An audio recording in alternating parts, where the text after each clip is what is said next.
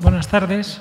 Quisiera que mis primeras palabras, no por obligadas, menos sentidas, de agradecimiento, gracias a Fasecolda, gracias a toda la estructura Fasecolda y la personifico en Jorge Humberto Botero y Luis Eduardo Clavijo, cuya insistencia y persistencia no se pueden hacer cargo ustedes la que tiene para conseguir que yo estuviera hoy aquí, con lo cual le agradezco mucho. Me preguntaban esta mañana si era la primera vez que estaba en Colombia y dije, no, la 37. Y dice, ¿cómo es posible? ¿A qué se debe? Digo, pues yo creo que es por ustedes, ¿no? porque me siento muy a gusto de estar aquí. Decía el profesor Sánchez Calero que hay dos maneras de preparar una conferencia, no prepararla o preparar un PowerPoint. Esto siempre lo digo, no he preparado un PowerPoint, no me voy a disculpar, nunca lo hago, y tampoco me la he preparado mucho, pues me decía Luis esta mañana, habla de lo que quieras, y bueno, pues vamos a hablar de lo que queramos. Entonces, el título un poco genérico que pusimos ahí la, bueno, ya no está, la ecuación, pues el consumidor o el asegurado tomador, como le queramos llamar, el asegurador, el supervisor y probablemente me queda alguien en la ecuación que son los tribunales, los órganos jurisdiccionales, por lo que luego diré. Quisiera empezar a hablar sobre la protección, la protección del consumidor sobre algo práctico. Es decir, hace unos meses en España se publicó un libro sobre la protección del asegurado en el mercado, la protección del cliente en el mercado asegurador, en el que participaron 35 profesores, académicos y jueces y algún corredor, ningún, nadie del sector del seguro, ni, ningún asegurado, por tanto, y donde quisimos empezar el libro con lo que es el análisis del método Delphi. El método Delphi, a la hora de la verdad, es, un, bueno, es una forma de estructuración de comunicación grupal, donde lo que hicimos es obtener la opinión de expertos o la opinión grupal de un grupo de expertos. El método Delphi se inaugura por la Rand Corporation en los años 40 en Estados Unidos y se perfecciona por los profesores Liston y Turov en el 75 y luego más tarde por Landeta y se ve muy claro. Se preguntó o preguntamos en este estudio a cuatro grupos, es decir, a aseguradores, a intermediarios, abogados y académicos por la protección del seguro, por la protección del asegurado en el mercado de, los seguros. Y las preguntas eran muy simples, es decir, desde realmente cuáles son los mejores órganos, instrumentos o canales de protección del consumidor, hasta la propia eficacia de los condicionados y la interpretación, el propio papel que organizan o que suponen los tribunales de justicia a la hora de resolver uno de los contratos con mayor litigiosidad que existe en el derecho privado, que es el contrato de seguro, sobre todo por los problemas hermenéuticos o de interpretación, y el resultado era la disparidad, evidentemente. Por ejemplo, le preguntábamos o nos preguntábamos a todo este grupo de personas, yo también tuve que participar, en las cuales queríamos cuáles eran los mejores medios o instrumentos de, protección, de tutela del asegurado. Y bueno, pues eh, ahí estaban los servicios de atención al cliente o defensor del asegurado que tienen las compañías de seguros, el servicio de reclamaciones que tienen los órganos de supervisión, llámese superintendencias, direcciones generales de seguro cualquier, o cualquier otro tipo de denominaciones que hay en todos los ordenamientos jurídicos. Hablábamos de los arbitrajes de consumo, los arbitrajes de seguro, la mediación, no como, no como intermediario, sino como método de resolución alternativo de conflictos y las organizaciones de consumidores. Para las compañías de seguros, el mejor mecanismo de protección era el defensor del asegurado. Para los abogados, el mejor mecanismo de protección eran los tribunales de justicia. Es obvio, va en su profesión. Si no hay caso, no hay litigio, tampoco hay estipendios, remuneración, honorarios, ni tampoco se crece jurídicamente. Pues bueno, también preguntábamos a, a estos cuatro grupos del método Delphi cuáles eran los verdaderos problemas que sufría o que tenía o que a la hora de la verdad preocupaban al consumidor de seguros y salían pues, bueno, hasta una, siete problemas y entonces el principal era el de la falta de cobertura, la falta de cobertura de determinados tipos de riesgos y el segundo eh, gran problema era la insatisfacción de las indemnizaciones, es decir, porque siempre se espera más de lo que realmente se recibe o porque la perspectiva normalmente cuando tienes un seguro es la reparación íntegra o integral del daño, lo cual nunca, nunca sucede ni acaece. Y había otra serie de problemas, desde la conculcación de ciertos deberes o derechos que podía tener el consumidor a los propios eh, problemas de incumplimientos del pago de la prima, notificaciones, etcétera, o las dilaciones en los procedimientos de siniestro. Una vez que se producía el siniestro, pues lo que verdaderamente se, se tardaba si el conflicto se eternizaba o se enconaba por discrepancias. Bueno, queda ahí eh, con palabras, con, hechos, con, con, resultados, pues cuál es el mejor mecanismo. Empiezo la ponencia un poco hablando, señalándoles el engarce que tiene la tutela, la protección del asegurado o, en definitiva, del consumidor con el derecho constitucional. Hoy que tanto se habla de la constitucionalización del derecho privado, sobre todo en este país, es cierto que en muchos ordenamientos jurídicos constitucionales la protección, la tutela del consumidor es un axioma, es un principio constitucional. No es un derecho fundamental ni es un derecho esencial de las constituciones europeas, pero sí un principio rector de la política social y económica de los países occidentales o de los países más democráticos. Lo que acabo de decir es una vaguedad absoluta. Decir que la tutela o el principio, la protección de los consumidores es un principio rector de la política social y económica, eso y nada es exactamente lo mismo. Si no hay un corpus que lo regule, que lo implemente y que le dé eficacia normativa, de poco o nada nos sirve.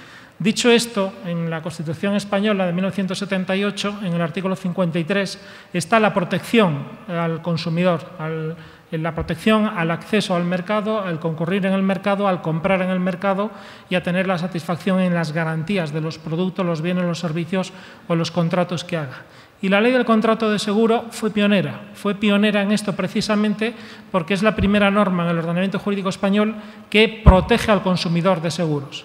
Es cierto que no es una protección completa, íntegra o holística, sino que es más bien indiciaria, pero fue un, un gran éxito o un gran logro y es un gran logro tergiversando las reglas del derecho privado. Me explico. Si el derecho privado, digamos que es la panacea de la libertad autonomía de la voluntad, ¿qué lugar ocupa o qué protagonismo deben tener las normas imperativas? Porque deberían desterrarse completamente del derecho privado.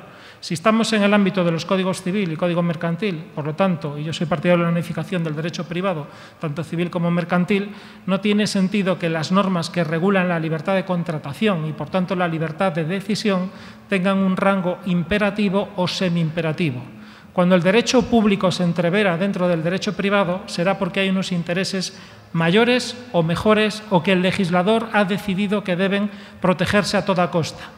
Y aquí es una decisión jurídica, evidentemente, de política legislativa cuando se decide en un determinado momento que en el derecho privado cierto tipo de normas tienen que ser imperativas para que no sean violentadas o violadas por ninguno de los operadores jurídicos económicos, es decir, las entidades aseguradoras. En un determinado momento, año 80, la ley de consumidores y usuarios en España es del 84, luego se fue modificando hasta 2007 y hubo posteriormente una ley de condiciones generales de la contratación lo peor de todo es la desarmonía que hay entre unos cuerpos y otros, porque lo que dice una ley, la, siguiente probablemente pues no sigue la misma técnica legislativa ni la misma pureza doctrinal y teórica y muchas veces pues, se contradice lo anterior o ya es campo para la interpretación jurídica. Dicho esto, si un ordenamiento jurídico está buscando esto y está elevando a un rango para proteger la libertad de los consumidores, sobre todo la tutela de los asegurados, del derecho de los asegurados, nos está diciendo que lo que no hay es equilibrio contractual. Esa palabra en la ponencia anterior del doctor Montalegre se hablaba, el equilibrio, el análisis del riesgo, la interpretación de las cláusulas dentro del asesoramiento que hacen los intermediarios. Los intermediarios son también una parte de ese eslabón en la protección y en la tutela de las dos partes, pero sobre todo en la del consumidor desde la de los corredores más que de la propia de los restos de mediadores. Si estamos hablando en estos términos, lo que queremos decir a la hora de la verdad es decir, esta tutela significa una erosión en la bilateralidad del negocio jurídico. Lo decía el profesor Stiglitz, que esta mañana se mencionaba también aquí, que se ha roto el sinalagma funcional, el sinalagma genético en el contrato de seguro. Queda roto desde hace mucho tiempo con los condicionados o no. ¿Qué es lo que lleva a un ordenamiento a implementar la protección de los individuos? Desterrar la, tutela o desterrar, en este caso, la desigualdad. Es decir, se cree, se presume, se comprobó muchas veces que había una desigualdad de punto de partida de los consumidores frente a determinado tipo de operadores económicos. Sobre todo esta filosofía sí era cierta hace 20 o 30 años. Puede que siga siendo, pero probablemente no tan cierta como antes o no tan firme o tan rígida como antes. Hoy el consumidor no es una persona diáfana que no conozca absolutamente nada de lo que está contratando, sigue firmando en barbecho los contratos sin leérselos, pero probablemente eso también es algo imputable a la propia esfera jurídica de la propia desidia de un consumidor de seguros o de cualquier otro producto financiero o no. Si uno de los eslabones es la desigualdad, el otro es, o desterrar la desigualdad, el otro es proscribir el abuso. Es decir, que se pueda producir cierto determinado tipo de abusos a través de la imposición o a través de la no negociación, a través de lo que yo les decía antes, la erosión de la bilateralidad en la negociación o en la libertad de adhesión o no a un determinado contrato. En este caso, el contrato de seguro. ¿Es el consumidor de seguros un convidado de piedra? Es una persona que está ahí sin criterio, sin decisión, sin opinión, sin ser capaz de una comprensión cabal de lo que está afirmando, o esta aporía nos servía hace años y ahora no deberíamos o deberíamos empezar a desterrarla y ver que el consumidor hoy sí puede tener más información que no. ¿Qué sabe un consumidor de seguros, aunque yo prefiero llamarlo asegurado? ¿Qué sabe un asegurado del riesgo? ¿Qué sabe de un contrato de seguro? Porque a la hora de la verdad lo único que sabe es la aversión al riesgo. Y esa aversión al riesgo solo significa una cosa, trasladarlo a otro patrimonio que en caso de que se produzca ese daño o ese evento dañoso, sea en sentido positivo o sea en sentido negativo, las consecuencias económicas sean menos adversas. Probablemente eso es lo único que quiere un asegurado potencialmente no bien informado. Es cierto que un consumidor puede ser tanto una persona física como una persona jurídica. Ya se nos cayó la venda de los ojos. Durante los años 80 y 90 se decía que jamás un consumidor podría ser una persona jurídica. Los ordenamientos hoy europeos, básicamente, todos han ido al consumo diciendo que puede ser consumidor tanto una persona física o jurídica cuando están negociando cualquier cosa ajena al propósito profesional o comercial que les es propio. Es decir, cuando un empresario está contratando un seguro para algo que no tiene que ver con su actividad comercial, evidentemente es un consumidor. Quizás nos dé más escrúpulo o menos cautela el que se le proteja que a una persona individual o un asalariado, a lo que le queramos llamar a una persona, a un ciudadano normal y corriente, donde dices o donde a priori puede ser mayor las necesidades de tutelar su posición jurídica frente a la entidad aseguradora o no. Es cierto también que cuando se habla de la tutela de los asegurados se puede hablar desde múltiples dimensiones, desde múltiples ópticas. Por un lado está la propia del consumidor frente a sus negociaciones o no negociaciones a la entidad aseguradora y por otra dentro de lo que es el propio contrato de seguro, una vez que el contrato se ha perfeccionado. Es decir, protegerle hay que protegerle ex ante, durante y expos, es decir, durante toda la relación contractual, en su íter negocial, tanto en las fases preliminares o de prenegociación como en las fases post-siniestrales. Verdaderamente un consumidor de seguros un asegurado en esa hipotética ecuación de su relación que le une con el asegurador, cuando verdaderamente se va a leer el contrato es cuando se produce el siniestro, si es que se produce el siniestro. Ahora, eh, él debe pechar con las consecuencias de su propia negligencia o de su propia dejadez. Cuestión distinta es si lo que lee no es comprensible o no es inteligible o no es entendible para un ciudadano medio o para un consumidor medio. Definir lo que es un consumidor medio es un concepto ambiguo e indeterminado en el derecho, porque si vemos cuál es el grado de diligencia media, que es lo que se decía en los viejos ordenamientos, que es la diligencia que debe tener un buen pater familias, que me definan lo que es buen y pater familias en las sociedades de hoy cada vez más vacías, hedonistas, consumistas, egoístas y todos los adjetivos que queramos decir. Entonces, dicho esto, es verdad que cuando se habla del consumidor, eh, por un lado, en esa ecuación eh, queremos creer que todavía sigue siendo la parte débil, lo es en los riesgos de masa, lo es en condicionados donde no puede decir absolutamente nada, en muchos condicionados que son cerrados, lo es en esa capacidad de negociación donde su libertad, autonomía la voluntad es decidir si acepta o no acepta contratar con esa aseguradora y con esos condicionados que están redactados, impuestos y predispuestos con anterioridad, o si verdaderamente tiene capacidad para influir no en las condiciones generales, pero sí en las condiciones particulares de ese contrato de seguro. Hablar de la tutela del consumidor es hablar de los derechos, pero también de los deberes que tiene frente a la entidad aseguradora. Código Civil de ustedes o nuestra Ley Contrato de Seguros, como cualquier otra norma de contrato de seguros, nos da toda una playa de distintos deberes donde la vulneración o la violación de algunos de estos deberes lleva a la decadencia del contrato de seguro.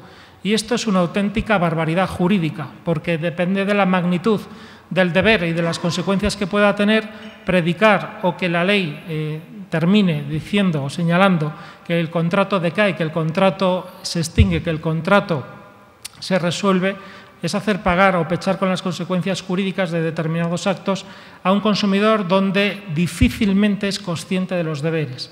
Yo no me meto ahora mismo si hay dolo, si, como se hablaba esta mañana, dolo eventual, dolo directo, si partíamos, como decía el doctor Sanabria, de la inasegurabilidad radical del dolo, que es lo que debe haber siempre por parte del, del asegurado en cuanto titular del interés. O cuestión distinta es esa disociación entre tomador y asegurado y ver si realmente, es decir, esa conculcación de los deberes debe llevar aparejadas las consecuencias jurídicas que en determinados momentos tiene.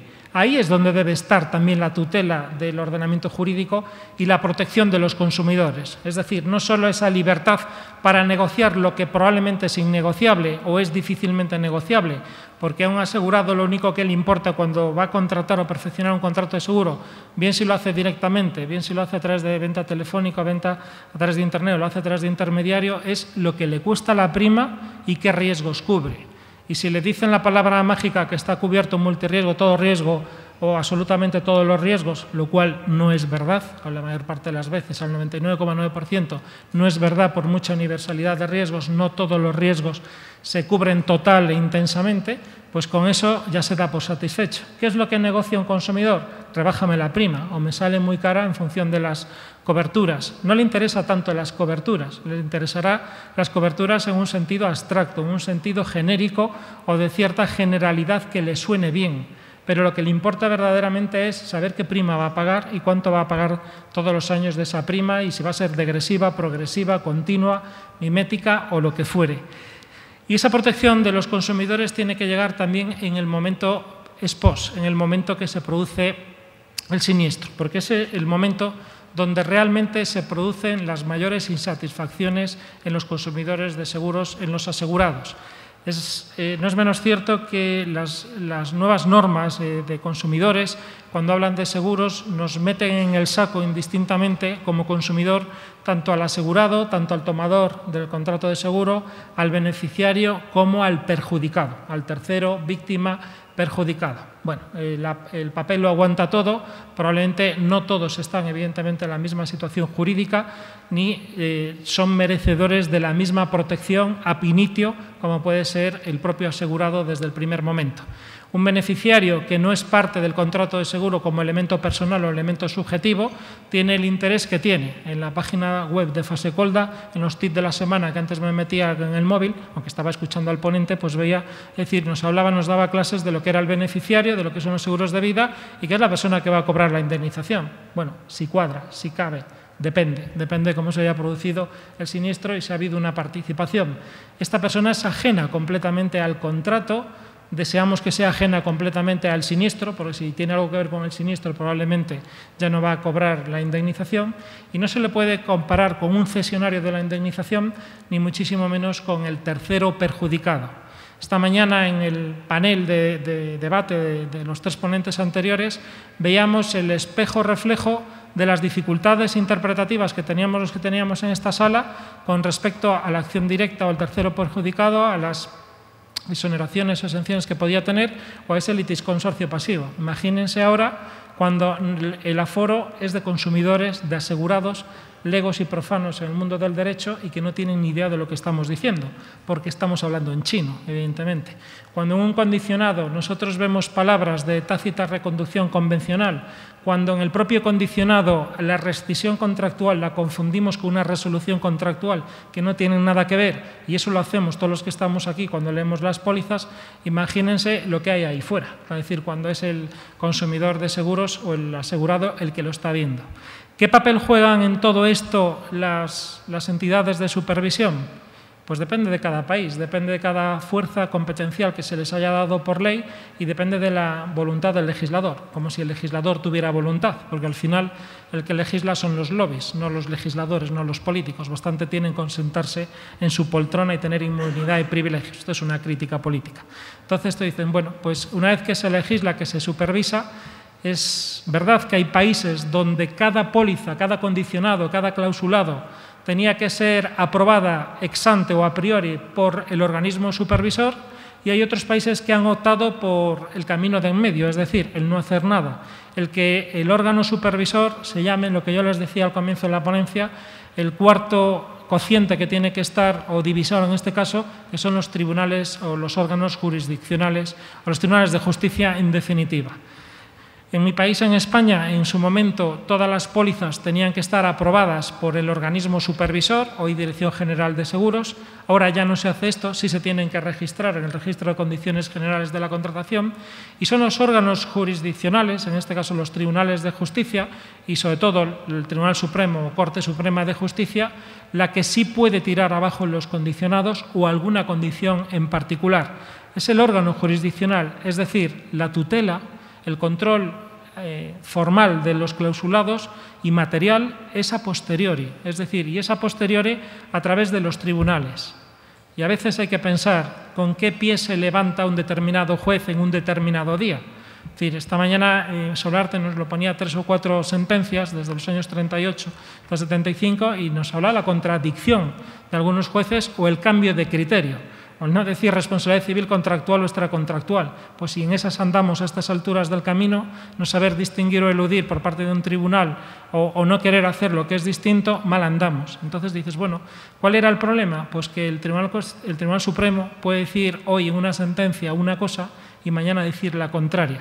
Si hay dos sentencias en el mismo sentido, sienta jurisprudencia y hay que cambiar la redacción de un condicionado pero si a los seis meses viene otra, otra sentencia en sentido contrario a las dos anteriores, ¿dónde está la tutela del asegurado o dónde está el sentido común, la probidad y, por no decir ya, la buena fe o el conocimiento del derecho de los seguros?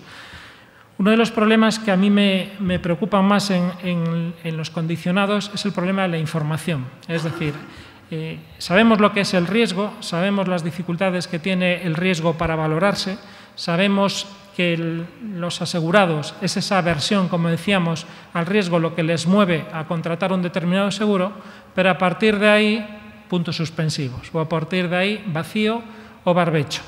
Es decir, saben que tienen que asegurarse, saben que la ley en determinados tipos de ramos o en determinados tipos de actividades por peligrosidad o por la propia actividad objetivamente, se obliga a tener un determinado contrato de seguro y hay otros que los seguros son voluntarios. En algunos casos hemos llegado hasta el extremo ya absurdo, por lo menos en Europa, que el seguro obligatorio de vehículos a motor todavía persiste y pervive un seguro voluntario cuando es totalmente ineficiente y no sirve para nada ya un seguro voluntario, y máximo porque la Unión Europea elevó las cuantías indemnizatorias o indemnitarias a 75 millones de euros por víctima y por siniestro. Es decir, ninguna vida humana vale más de 75 millones. Es decir, por víctima y siniestro, si hay varias víctimas, ese es el tope. Y por siniestro, no por un único siniestro, puede haber tantos siniestros como tracto sucesivo el contrato de seguro. Si hay algo esencial en los seguros de vehículos a motor, como es para mí nuclear, que es el hecho de la circulación, saber lo que es hecho y no hecho de la circulación, es clave, el resto pues sobra el seguro voluntario probablemente porque el seguro obligatorio ya cubre también a ocupantes, a familiares y a la propia víctima, con límites sí, pero a la propia víctima también o conductor, sea ocasional, esporádico o sea el que está sacándose la licencia o permiso de conducir en una autoescuela y tiene un accidente y veremos a ver cómo estaba o que el vehículo sea de leasing o no leasing, es decir, eso ya está cubierto y ya está superado. Pero en este tipo de seguros, cuando estamos ante un seguro obligatorio, la fuerza de la ley o la propia regulación jurídica hace decaer la propia tutela del consumidor y también el propio grado de diligencia del consumidor. Es la ley la que está normando, la que está exigiendo unos límites o unos mínimos infranqueables, tanto cualitativos como cuantitativamente. Entonces dices, bueno, los seguros obligatorios, donde por ley se obliga a determinado tipo de actividades que se exija tener una póliza vigente, parece como que hay un mayor control por el organismo supervisor o por los distintos ministerios o por los distintos órganos administrativos que son los competentes. Pero en el resto de seguros, evidentemente, pues ahí cabe la libre iniciativa y ahí cabe que la aseguradora busque, que la aseguradora ofrezca, que la aseguradora pacte, que la aseguradora incluso llegue a acuerdos colusorios o prácticas colusorias. Y les pongo un caso, es decir, hace seis años ahora, el 1 de julio del 2010 salió una sentencia en el Tribunal Supremo que era de la Organización de Consumidores y Usuarios de España frente a siete entidades aseguradoras por pactar cláusulas, por pactar el contenido de determinado tipo de pólizas y por pactar unas exigencias execrables para los asegurados. Es decir, se habían puesto de acuerdo. Esto, aparte de vulnerar la libre concurrencia y el libre acceso al mercado y las prácticas monopolísticas, abusivas, colusorias o concertadas que distorsionan la ley de competencia o la defensa o la libre defensa de la competencia, al mismo tiempo está alterando lo que es la práctica del seguro o las buenas prácticas del seguro. De nada me sirve que las compañías de seguros aprueben códigos de buenas prácticas o que las patronales de seguro tengan códigos de buenas prácticas o códigos de conducta o que los organismos supervisores tengan sus propias guías de contratación que ofrezcan a los consumidores si luego no somos capaces de proscribir o de prohibir determinado tipo o de penalizar o sancionar determinado tipo de conductas o de comportamientos que aparte de distorsionar el mercado lo están abigarrando, lo están pues reduciendo e, e impidiendo que eh, accedan nuevos competidores, nuevos concurrentes o paralelamente que se esté abusando en los derechos que puedan tener los consumidores o no. El seguro, uno de los grandes talones de Aquiles del contrato de seguro es la información, es decir, la información y el grado de conocimiento que pueda tener un asegurado de lo que está firmando o de lo que va firmando. Una cosa es la comprensibilidad, el, espacio de conocibilidad objetiva que pueda tener el asegurado de las necesidades que tiene y de las coberturas que tiene.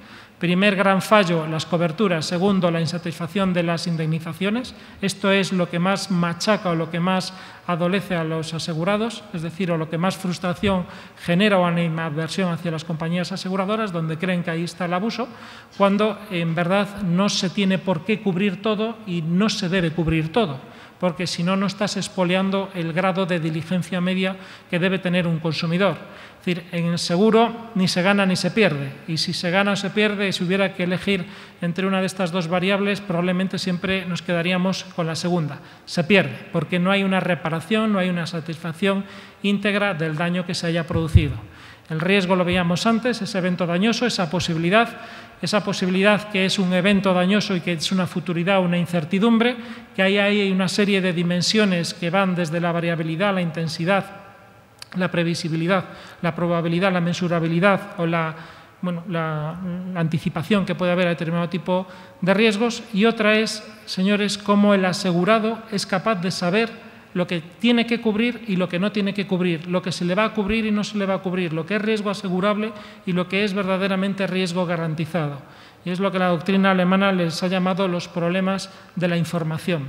Es decir, el, el, asegurado es el que tiene que proveer de información a la entidad aseguradora. Tiene ese deber de comportamiento, de colaboración conductual, el deber de declarar el riesgo, el deber de contestar a ese hipotético cuestionario antes se decía el cuestionario lo puede haber pasado por el tamiz de un supervisor o puede que nunca lo haya visto un supervisor, como muchos ordenamientos, y libremente la entidad aseguradora decide si traslada el cuestionario o no lo traslada y las preguntas que hace y no, o preguntas que no hace. Evidentemente, yo pongo siempre un caso de un cuestionario, yo lo he contado más de una vez, cuestionario que le preguntan al asegurado si usted bebe habitualmente. Es decir, no son traguitos. Es decir, si usted bebe habitualmente es que bebe de un modo continuado y reiterado y no sé hasta qué volumen, pero si bebe habitualmente. Le preguntan a un corredor de seguros en su póliza de seguro de vida que está haciendo compartida con su cónyuge si bebe habitualmente y contesta que no.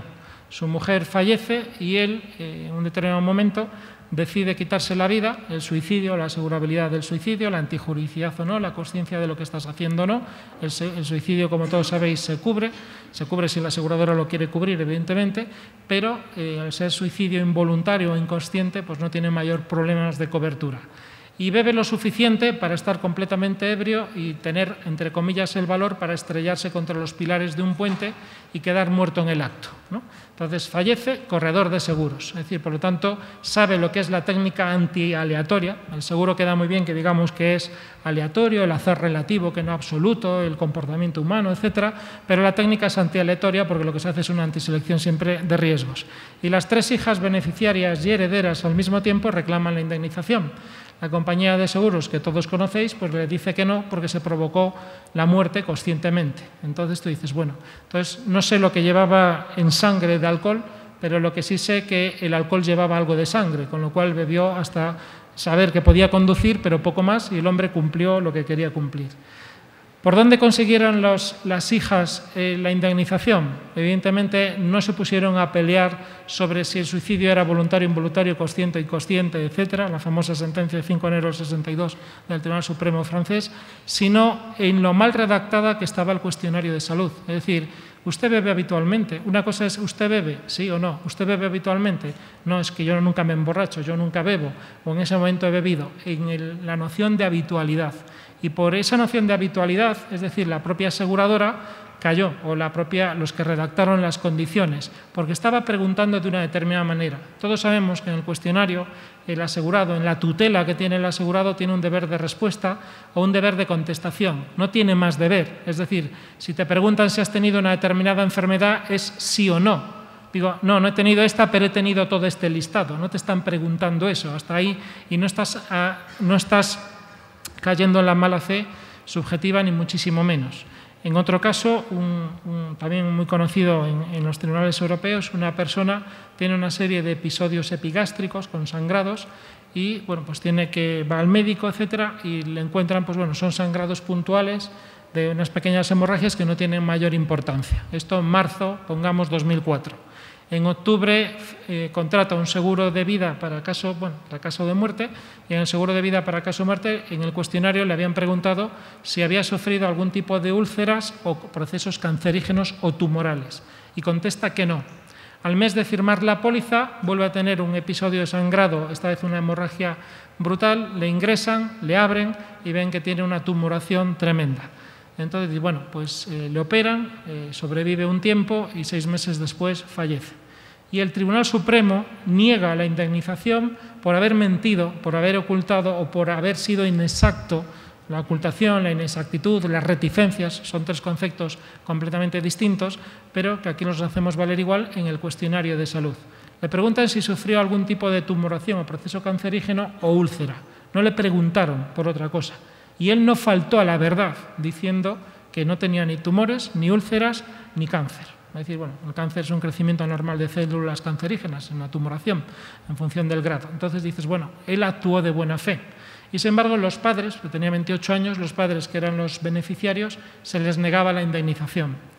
No contento con esto, el juez ponente eh, afirma o da un segundo paso, una segunda vertiente, en la que dice, dice, bueno, si bien es cierto que ha incumplido con el cuestionario, no es menos cierto que también faltó al deber de comunicar la agravación del riesgo, lo cual esto ya es una barra basada por parte del juez y un desconocimiento supino de lo que es el contrato de seguro y el funcionamiento.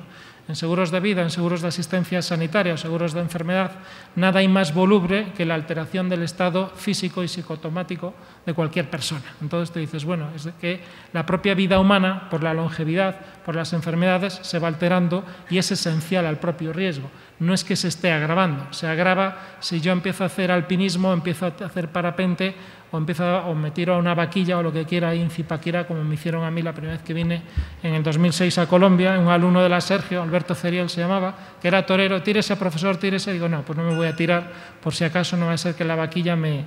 Entonces dices, bueno, la tutela, la protección del consumidor de seguros también lo que, lo que está o lo que implica sobre todo es en la fase final del contrato de seguro cuando se produce cuando se produce el siniestro, es decir, qué es siniestro y no es siniestro ¿Es siniestro cuando el riesgo no estaba garantizado? Evidentemente no. ¿Cómo se le explica esto a un consumidor o a un asegurado? Es decir, esto probablemente es lo que más eh, incertidumbre y lo que más insatisfacción genera en el mundo del seguro. Es decir, el no sentirse atendido, el no sentirse cubierto o el no sentirse reparado indemnizado como cree que debería ser. Por mucho que hablemos del infraseguro, por mucho que hablemos de la subrogación, de la acción tercera del perjudicado, de la víctima, ¿cómo le va a explicar a alguien, a un asegurado que estaba en situación de infraseguro, que aun siendo el daño parcial y no cubriendo la totalidad la suma asegurada, no se le paga la totalidad la suma asegurada a la que cree que tiene derecho? Y que le expliquen a un asegurado que hay una regla proporcional. Es decir, es que no lo, no lo va a entender ni lo puede entender. De la misma manera, cuando yo antes les decía los problemas de información, es decir, la información, es decir, nada hay más peligroso que el exceso de información y el defecto de información. Decían los alemanes de la doctrina alemana, Meyer, Dreher, Svintowski, que la información que tiene que proporcionar un asegurado a la aseguradora es una información cierta, exacta, cuidadosa, entendible y completa. Lo puedo decir en alemán, pero no lo voy a decir que queda muy pedante. Entonces te dices, bueno, pues esa información exacta y veraz, bueno, pues hasta dónde llega la buena fe objetiva. Hoy se hablaba, ¿no? Ya lo hablaba en su momento la teoría del negocio jurídico Betty por los años 50, la buena fe objetiva y la buena fe subjetiva. Yo diré la información de lo que creo que es lo que me sucede o lo que yo pueda conocer, no puedo decir otras cosas. La información que tengo que transmitir tiene que ser entendible, pero la que a mí me tiene que transmitir una entidad aseguradora tiene que ser comprensible e inteligible por mí. Si las condiciones están redactadas de una manera tan oscura, tan ambigua, tan de doble sentido o tan plurívocas en las condiciones, en las normas materiales o normas formales, que en definitiva son las condiciones o las cláusulas, evidentemente se está conculcando el principio de transparencia. Hoy se habla mucho de transparencia. Y termino, que me quedan dos minutos y yo soy, cumplo el tiempo, y con el problema que hay siempre a la hora de delimitar el riesgo o limitar los derechos de los asegurados. Es decir, eh, lo que es fundamental y algo que tienen que comprender los asegurados siempre es el fijar el marco objetivo, el marco jurídico objetivo de cobertura del contrato de seguro, el contenido del contrato de seguro. La delimitación del riesgo es eso, saber qué se cubre y qué no se cubre, cómo se cubre y cómo no se cubre, hasta cuándo se cubre y dónde se cubre. Y tiene que quedar muy claro cuál es ese riesgo en esa delimitación, sea positivamente o sea negativamente, por exclusión o no, sin dobles lenguajes, con claridad, con rotundidad, sin que la cláusula séptima se vea contradicha por la cláusula 23 20 páginas después, porque eso es lo que hay que desterrar. Pero una vez que está creado o marcado el ámbito concreto, objetivo de la cobertura del seguro y por lo tanto de los riesgos que están garantizados y que están asegurados y que ya no son asegurables, todo lo demás es limitar derechos del asegurado. Todo lo que limite la indemnización, en definitiva, está cercenando las expectativas o los derechos que pueda tener un asegurado. El que a mí me excluyan un determinado riesgo, y yo insisto que no todos los riesgos tienen por qué estar cubiertos por una entidad aseguradora o por varias en un coaseguro, no significa que te estén conculcando o limitando tus derechos y hasta que los tribunales o los órganos jurisdiccionales, porque los arbitrajes de seguro no están funcionando en muchos países, como los arbitrajes de consumo, pues hasta que los órganos jurisdiccionales no se den cuenta de esto, es decir, no le harán ningún flaco favor al mundo del seguro y menos a las pólizas. Termino diciendo que si la protección de los asegurados eh, tiene que ver con, con esos dos términos, la desigualdad y el abuso, es verdad que hoy mantener, como se mantenía hace tiempo, que la desigualdad era la clave de bóveda de toda la protección, eso se va erosionando también porque hoy cada vez el ciudadano está más informado que antes o es más consciente de los derechos o de los deberes que tiene o que no debe tener. Y el abuso se ha ido desterrando, porque también muchas entidades aseguradoras se ha ido desterrando, que no eliminando totalmente, que son conceptos distintos, sí han ido depurando los condicionados, sí han ido depurando los comportamientos o las indemnizaciones, o lo escuchábamos esta mañana cuando se aludía a la presidenta de UNESPA en España, que también dirige por Latinoamérica, cómo se llega a esos acuerdos transaccionales entre las compañías a la hora de liquidar los siniestros. Todos sabemos que hay muchos siniestros que sí se acuerda la transacción, que sí se llega a un acuerdo, no completamente satisfactorio, pero sí para el asegurado, pero que también hay un 10-15% de conflictos, de litigiosidad que se encona y que tiene que acabar en los tribunales. El grado de satisfacción o no, eso es lo que verdaderamente es complicado. Por eso decía que en la ecuación consumidor-asegurador-supervisor, el papel fundamental también que no hay que olvidar o desdeñar es el de los tribunales de justicia, porque son los que están interpretando el contrato. Son los que, en teoría, hipotéticamente, buscan esa digamos, intención común del contrato, la búsqueda de la intencionalidad común, y no hay intencionalidad común. Una, una aseguradora vende lo que, o compra perdón, lo que alguien quiere vender. Aisolin, un autor norteamericano, dijo hace mucho tiempo que el contrato de seguro no es un contrato de apuesta, no es un contrato aleatorio, sino que es un contrato de compra-venta, compra riesgos. Muchas gracias.